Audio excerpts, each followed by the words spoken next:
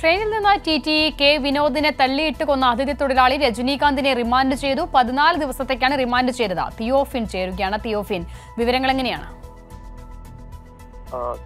വൈകിട്ട് ഇന്ന് വൈകിട്ടാണ് റെയിൽവേ പോലീസ് പ്രതിയെ കോടതിയിൽ ഹാജരാക്കിയത്. അതിനുശേഷമാണ് പ്രതിയെ റിമാൻഡ് ചെയ്തത് പതിനാല് ദിവസത്തേക്ക്. ഇന്ന് രാവിലെയാണ് പ്രതി രജനീകാന്തയുടെ അറസ്റ്റ് പോലീസ് രേഖപ്പെടുത്തിയത്. ഇന്നലെ തന്നെ റെയിൽവേ പോലീസിന്റെ കസ്റ്റഡിയിൽ പ്രതിയെ കിട്ടിയിരുന്നു. പാലക്കാട് നിന്നും പാലക്കാടുള്ള റെയിൽവേ ഡിവിഷനിൽ നിന്നും റെയിൽവേ പോലീസ് കസ്റ്റഡിയിലെടുത്തു അതായത് ഈ ബോ സംഭവം നടന്ന ശേഷം ബോഗിയിലുള്ള യാത്രക്കാരോട് ഇയാളെ തടഞ്ഞു വെക്കാൻ ആവശ്യപ്പെടുകയും പാലക്കാട് നിന്ന് കസ്റ്റഡിയിലെടുക്കുകയുമായിരുന്നു. അതിനുശേഷമാണ് തൃശൂരിൽ നടന്ന സംഭവമായതുകൊണ്ട് തൃശൂരിൽ ആർ പി എഫിന് കൈമാറിയത്. തൃശൂർ ആർ പി എഫ് ആണ് ഇയാളുടെ അറസ്റ്റ് രേഖപ്പെടുത്തിയത്.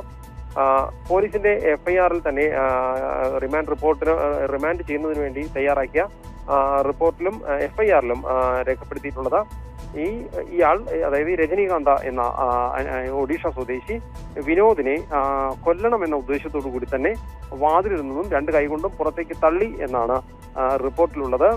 ഇന്നലെ നമുക്കറിയാം ഇന്നലെ വൈകിട്ട് ഏഴ് മണിയോട് കൂടിയാണ് വിനോദ് കൊല്ലപ്പെടുന്നത്.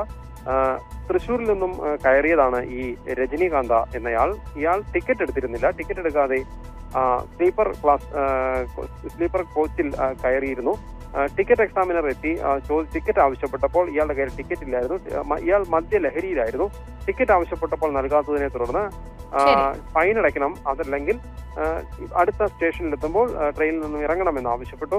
ശരിയാണ്. തിയോഫിന് പറഞ്ഞതുപോലെ അതിനെ തുടർന്നുണ്ടായ പ്രകോപനമാണ് ടി ടിയുടെ കൊലപാതകത്തിലേക്ക് നയിച്ചത്. പ്രതിയെ ഇപ്പോൾ റിമാൻഡ് ചെയ്തിരിക്കുന്നു.